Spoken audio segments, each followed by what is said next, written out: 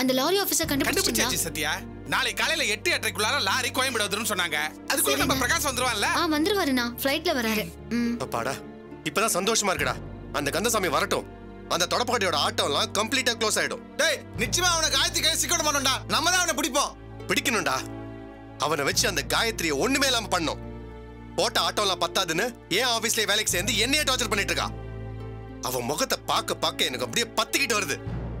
இன்னும் கொஞ்ச நாள் அவன் ஆபீஸ்ல வேலை பார்த்தான்னா அவ கழுத்தை நெரிச்சு நானே கொண்டு போட்டுருவேன்.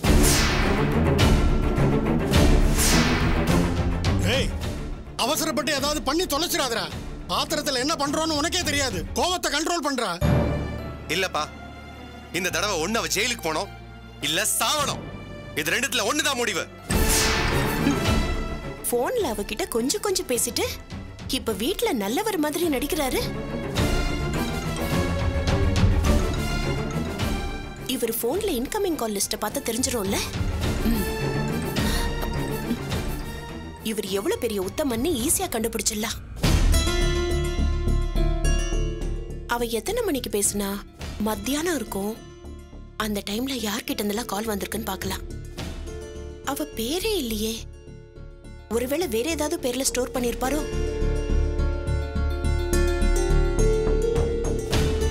அகிலா? என் போன் வச்சு என்ன பண்ணிட்டு இருக்க? அது ஒண்ணும் இல்ல. ரொம்ப நேரமா சார்ஜ்ல இருந்தது. அதான் சார்ஜ் கம்ப்ளீட்டான்னு ஆமா. பார்த்தேன். மொபைல் சார்ஜ் ஏறினதுக்கு அப்புறம் ரொம்ப நேரம் சார்ஜிங்ல இருந்தா பேட்டரி தான் வீக் ஆகும். ம். அ, இன்னைக்கு மத்தியானம் நான் உங்களுக்கு ஃபோன் பண்ணியிருந்தேன். மதியமா? அப்போ லஞ்ச் பிரேக் தானே? ஃப்ரீயா தானே இருந்தேன்?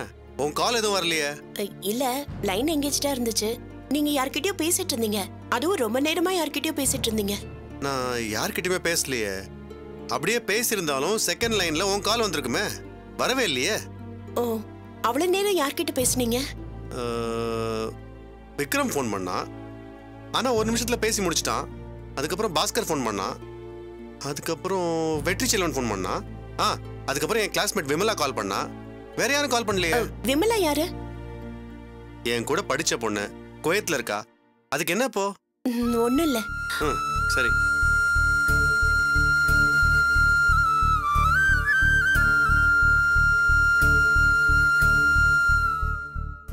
கால் லிஸ்ட்ல இருக்கிற எல்லார் பேரும் கரெக்டா சொல்றாரு. ஆனா காயத்ரி பண்ண காலை மட்டும் மறைக்கிறாரு. கால் லிஸ்ட்லயும் அவ பேர் இல்ல. ஒருவேளை அவ காலை டெலீட் பண்ணிட்டு நம்ம கிட்ட மறைக்கிறாரோ?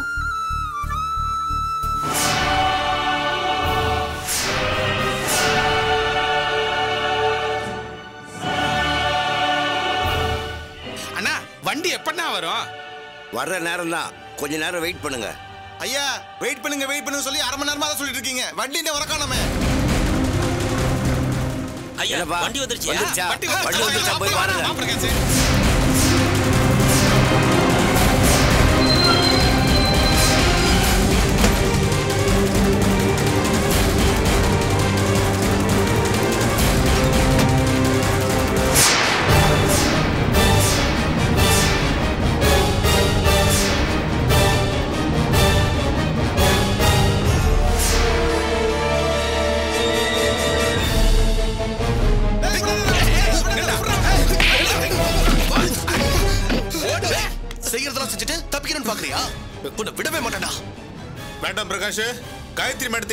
என்ன உங்களால ஒண்ணும் பண்ண முடியாது. டேய் இவ்வளவு பட்டும் காயத்ரி மேடமா? டேய் அவளால என்ன பண்ண முடியும்? தெருவுல பிச்சை எடுத்து அலைஞ்சுகிட்டு இருக்கா. தெரியுமா உனக்கு? அண்ணா இந்த வீடியோ இதோ. சந்தோஷமா காட்டுறேன் பிரகாஷ் இங்க பாரு. ம். இங்க பாரு. அந்த காயத்ரியும் என் முன்னாள் பொண்டாட்டி வினோதினியும் எப்படி பிச்சை எடுக்கிறாள்னு பாரு. ஆ, கோவிலுக்கு முன்னாடி உட்காந்துட்டு எப்படி எடுக்கிறாள்னு பாரு. பாரு பிச்சை எடுக்கிறதுக்கு எப்படி சண்டை போடுறாள்னு பாரு.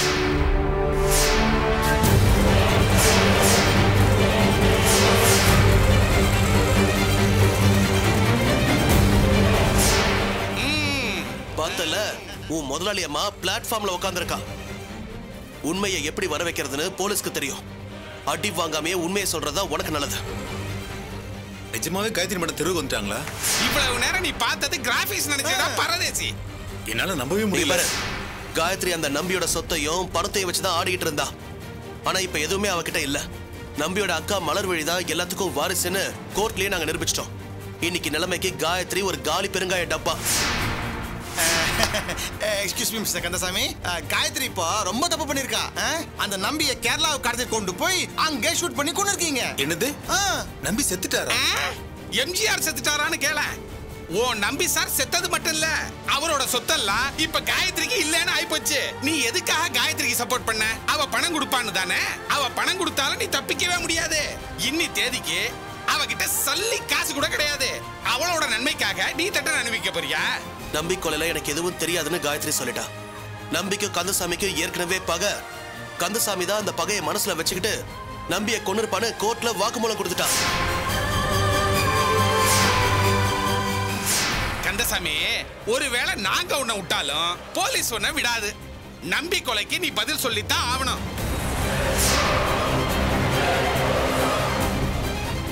கந்தசாமி நீ பெரிய தப்பு பண்ணிருக்க. அது சாதாரண தப்புன்னு சொல்ல முடியாது. அது பெரிய கிரைம் கந்தசாமி ஆமாப்பா அந்த காயத்ரி நீ நம்பன நீ இன்னும் கேவலப்பட்டு தான் போனோம். அந்த காயத்ரியை நம்பி நம்பினா செத்து போயிட்டான். அந்த மினிஸ்டர் நம்பினாரு. அவரோட அரசியல் வாழ்க்கையே நாசமா போச்சு. இவ்ளோ பெரிய ஆளுங்கள டம்மி பீஸ் ஆட்டாங்க நீ மட்டும் தப்பிக்க முடியுமா சொல்லு. எல்லாரும் நிஜமா தான் சொல்றீங்களா? யார் மேலேயே சத்தியம் பண்ண சொல்ற? நிஜமாவே அந்த காயத்ரி இப்போ மாத்து துணி கூட இல்லாம பிச்சை எடுக்கிறாங்க. உனக்கு வேற வழியே இல்ல கந்தசாமி. நடந்ததை எல்லாம் நீயே ஒத்துக்கிட்டா? போலீஸ் கிட்ட சொல்லி உனக்கு குறைஞ்சபட்ச தண்டனை கிடைக்கிற மாதிரி ஏற்பாடு பண்ற. என்ன சொல்ற? நீ குறைஞ்சபட்ச தண்டனையோட தப்பிக்க இதுதான் சரியான சந்தர்ப்பம். இதையே நீ வேண்டான்னு சொன்னேன்னு வச்சுக்கோ. அவ்வளவுதான். வாழ்க்கை முழுக்க ரோடு ரோடா திரிய வேண்டியதுதான். என்ன நடந்துச்சுன்னு இப்பவாவது உண்மையை சொல்லு. இதுக்கு மேல எதையும் நான் மறைக்க விரும்பல. நடந்ததெல்லாம் சொல்லிடுறேன். அந்த நம்பி ஜெய்கிந்த் விலாஸோட ஒரிஜினல் பத்திரத்தை எங்கேயோ மறைச்சு வச்சிருந்தான். அது கிடைக்கிறதுக்காக காயத்ரி மேடமும் வினோதினி மேடமும் என்னை அப்ரோச் பண்ணாங்க.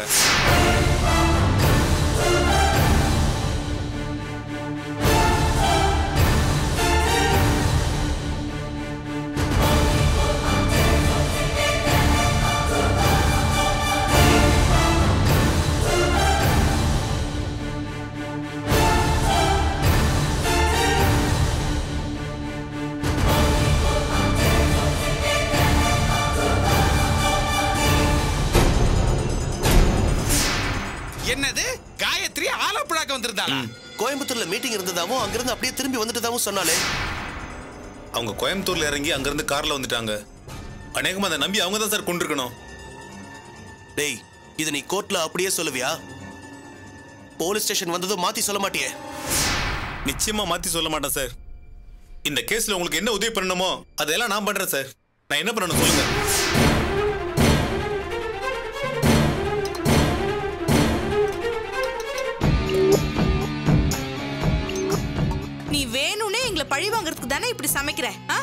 ஐயோ என்னம்மா இப்படி எல்லாம் பேசுறீங்க? நான் வேணும்னு சமைக்கிறேனா? நானும் இதை தானேம்மா சாப்பிட்றேன். என்கிட்ட இருக்க பணத்துக்கு நல்ல அரிசி பருப்புலாம் கிடைக்காதுமா எங்க வீட்ல ஒரு நாள் சமைச்சல அப்ப நல்லா தானே இருந்தது? அங்க இருந்த பொருள் எல்லாமே காஸ்ட்லியானதுமா வாய்க்கு நல்லா ருசியா இருந்துச்சு. நான் கொடுக்கற காசுக்கு இங்க மட்டமா தானே கிடைக்குது? இவளோட விளங்காத சமையல இருந்து தப்பிக்கணும்னா சீக்கிரமா நம்ம வேற வீட்டை பார்த்துட்டு போயிடணும்க்கா. இல்லைன்னா இப்படி சமைச்சு போட்டு நம்மள சாவடிச்சிருவா. சாப்பிடுறீ.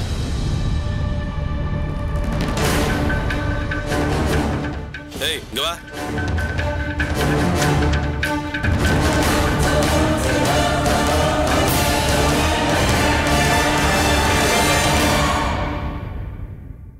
எதுக்கு சார் வந்திருக்கீங்க? தெரியல உங்களை அரெஸ்ட் பண்ண வந்திருக்காங்க. எங்களை எதுக்கு அரெஸ்ட் பண்ணணும்? உங்களை மாமியார் வீட்டுக்கு கூட்டு போய் நல்ல கறியும் சோறுமா ஆக்கி போட்டு உங்களை இன்னும் நல்லா கொழுக்க வைக்கத்தான். கந்தசாமி கிடைச்சிட்டான். போலீஸ் ஸ்டேஷன் வந்து உங்களுக்கு எதிராக வாக்குமூலம் கொடுத்துட்டான். உங்க கதை முடிஞ்சது.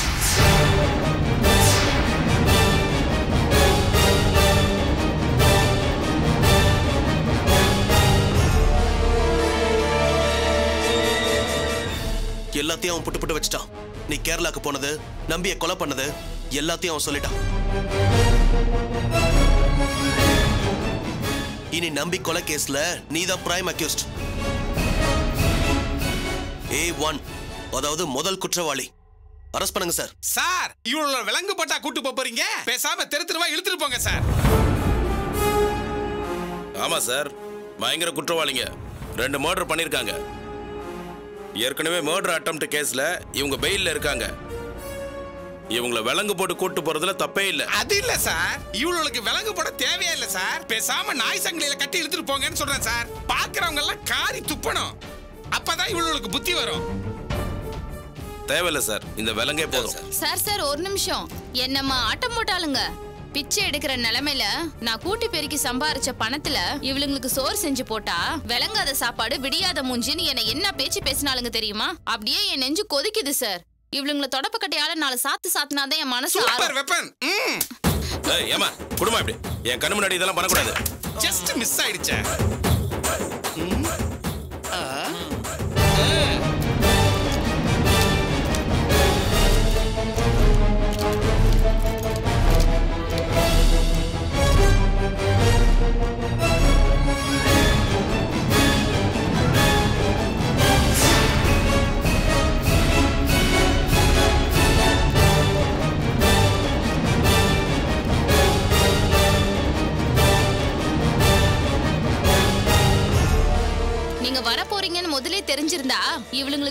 போட்டு இங்கே உட்கார வச்சிருந்திருப்பேன். நீங்க சொல்லாம கொல்லாம வந்துட்டீங்களே சார். ஏ காயத்ரி வினோதினி என்னைக்காவது ஒரு நாள் என் கையில மாட்ட தாண்டி போறீங்க. அன்னைக்கு இருக்கடி உங்களுக்கு? பாத்ரூம் கழுவுற தொடப்பு கட்டையை வச்சுட்டு காத்துக்கிட்டு இருக்கேன். என் கையால பூசை வாங்கிட்டு தாண்டி போவீங்க. எழுதி வச்சுக்கோங்க. சார் எஃப்ஐஆர் போட்டு ரிமாண்ட்ல போடுங்க. தப்பிச்சாலும் தப்பிச்சிருவாங்க. ஆமா சார். டெக்னிக் தெரிஞ்சவளுவோ. வாங்க கிளம்பு. சகல வா ஆடி கொண்டாடுவோம் வெற்றியா.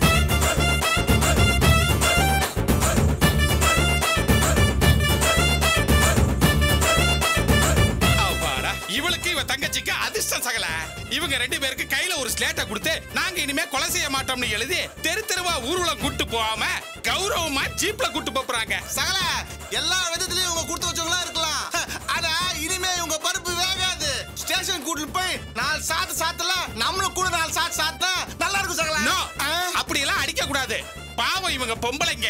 வேணும்னா மூஞ்சில காரி துப்பு இல்லனா பெரிய தொடப்பக்கட்டையா எடுத்து ஓங்கி அடி. அப்ப ஓகே சகல. இப்பவே அந்த தலைக்கணத்தை அடிச்சிருவோம் ஓகே ஒன் டூ த்ரீ துப்பு நீங்க கொண்டு போட்டுருவேன். சார் இவங்கள போக சொல்லுங்க அப்பதான் நான் ஜீப்ல ஏறுவேன். வாங்க சார் வாங்க.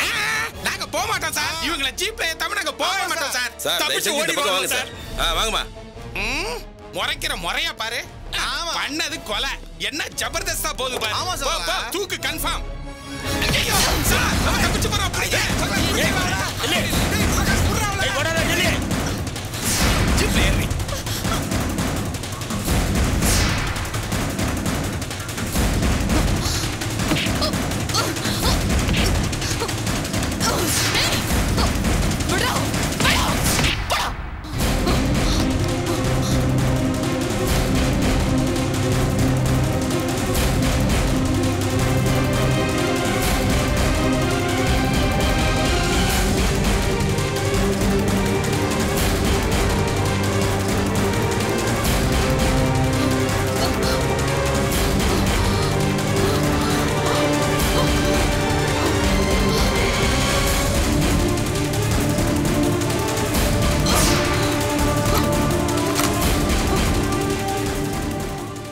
சுற்றுவேன்.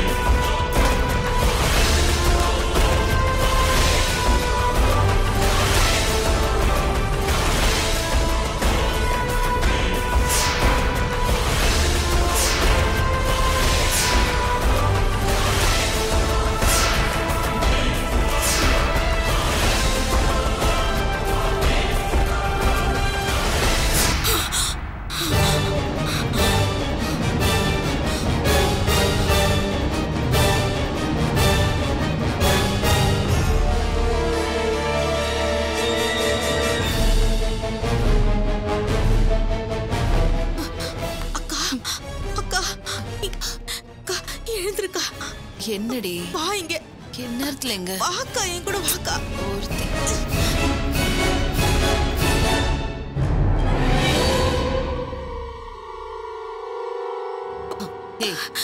நான் ஒரு கனவு கண்டேன்க்கா. என்ன வேணும்? ஐயோ அக்கா ரொம்ப மோசமான கனவுக்கா. அந்த பிரகாஷ் கந்தசாமியை புடிச்சிட்ட மாதிரி.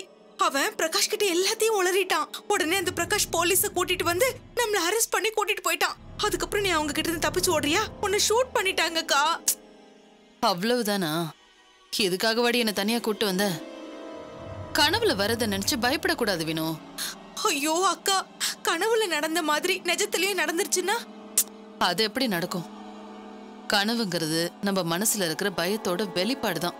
அதெல்லாம் நிஜம்னு சொல்லி யாராவது நம்புவாங்களா? இல்லக்கா நாம ஜெயஹிந்த் விலாஸ்ல இருக்கும்போது நான் கண்ட கனவு உனக்கு ஞாபகம் இருக்கா இல்லையா? குமார் மாமா உன்னை அடிச்சு துரத்துற மாதிரி கனவு கண்டேன். கடைசியில அது பழிச்சுதா இல்லையா? அதுவும் இதுவும் ஒன்னா ஐயோ அக்கா. அந்த கனவும் இந்த மாதிரி எனக்கு தானக்கா வந்துச்சு. அது பழிச்ச மாதிரி இது ஏன் பழிக்காது அந்த நேரத்துல நான் ரொம்ப அசால்ட்டா இருந்துட்டேன். அதனால்தான் அப்ப நீ கண்ட கனவு பளிச்சுது. இப்போ அந்த மாதிரி கிடையாது. நான் ரொம்ப ஜாக்கிரதையா காய் நகர்த்திக்கிட்டு இருக்கேன். நிச்சயம் இந்த தடவை நாம நினைச்சது நிறைவேறாம போகாது. இல்லக்கா. இருந்தாலும் என் மனசுல ஏதோ தப்பு நடக்க போற மாதிரியே தோணுது. அதெல்லாம் நாமளா கற்பனை பண்ணிக்கிறது. நல்லதோ கெட்டதோ. கரெக்டா பிளான் பண்ணி கரெக்டா எக்ஸிக்யூட் பண்ணா எதுவுமே தப்பாகாது. நான் இந்த தடவை ரொம்ப ஜாக்கிரதையா பிளான் பண்ணிருக்கேன். நிச்சயமா அது தப்பாகாது. நீ வந்து நிம்மதியா படுமா? அக்கா! வினு எல்லாம் நல்லபடியா நடக்கும். நான் இருக்கேன். நீ கனவை நம்புறியா இல்ல என்ன நம்புறியா? ஒன்னதாக்கா நம்புறேன். ம் என்ன நம்புறல அப்புறம் என்ன? எது வந்தாலும் நான் பாத்துக்கிறேன். நீ வா. அக்கா எதுவும் பயம் இல்லையே. எந்த பயமும் இல்ல வேணும் நீ வா படுத்து தூங்கு.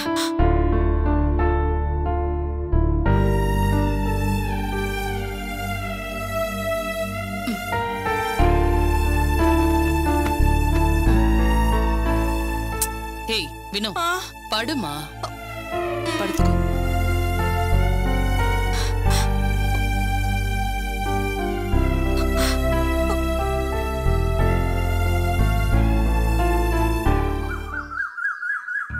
ஆமாம் சார் எல்லா அக்கௌண்ட்ஸையும் கம்ப்ளீட்டாக முடிச்சிட்டேன். உங்களுக்கு மெயிலும் பண்ணிருக்கேன். அந்த கம்பெனியோட நீங்க மர்ஜ் பண்றப்போ உங்களுக்கு எந்த அக்கௌண்ட் சிக்கலும் வராது. ச்சே புது கம்பெனி நம்ம வாங்க போறது யாருக்குமே தெரியாது. நான் அதை போய் வெளில சொல்லுவேனா? இன்ஃபேக்ட் என் ஒய்ஃபு கூட தெரியாது. எல்லாம் ரகசியமா இருக்கும். நாம இதே மாதிரி கண்டினியூ பண்ணலாம். சொன்ன கெடு முடிகிற வரைக்கும் இந்த விஷயத்தை நான் வெளியில யார்கிட்டயும் சொல்லவே மாட்டேன். ப்ராமிஸ் சரி ஓகே மீட் பண்ணி பேசலாம். கார் சாவி எங்க வச்சேன்?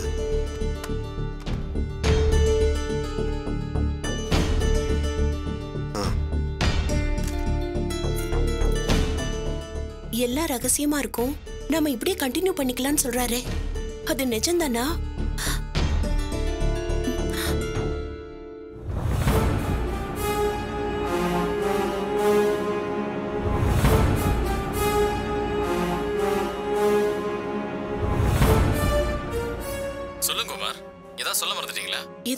வயசா இருக்கே. ஹலோ குமார் குமார் குமார் கேக்குதா?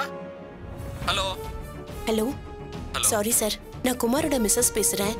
வேற ஒருத்தருக்கு கால் பண்றதுக்கு பதிலா உங்க நம்பருக்கு பண்ணிட்டேன். பரவாயில்ல நோ ப்ராப்ளம்.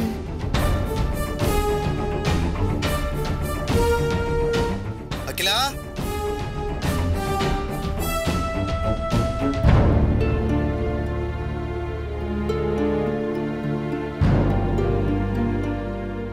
இந்தாங்க மொபைல்ல மறந்து வச்சுட்டு வந்துட்டீங்க. தேங்க்ஸ் வரேன் ஆ, வரேன்ப்பா சரிங்க.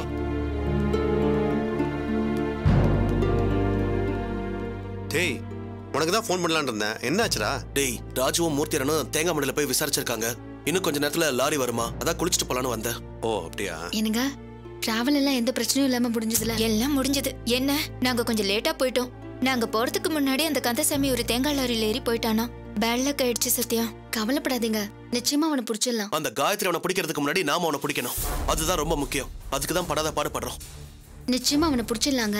அவனை புடிச்சு அப்ரூவர் ஆகிட்டா நம்பி கொலைகேஸ்லயும் இவளோட ஹஸ்பண்ட் கொலை கேஸ்லயும் நிச்சயமா உள்ள போறது உறுதி. அது மட்டுமா?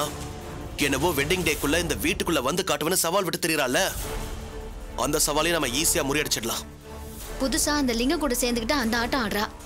அவ உள்ள போயிட்டானா? அந்த லிங்கத்தையும் ஈஸியா உள்ள தள்ளிடலாங்க. அவன் தொல்லையில இருந்து நம்ம தப்பிச்சிடலாம். நிச்சயமா அது நடக்கும் சத்யா. முதல்ல அண்ணன் குளிச்சுட்டு கிளம்பட்டும். மத்ததெல்லாம் அப்புறமா பேசிக்கலாம்.